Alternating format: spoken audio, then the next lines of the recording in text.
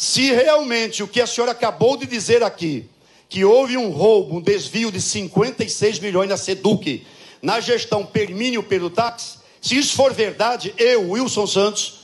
renuncio ao mandato semana que vem.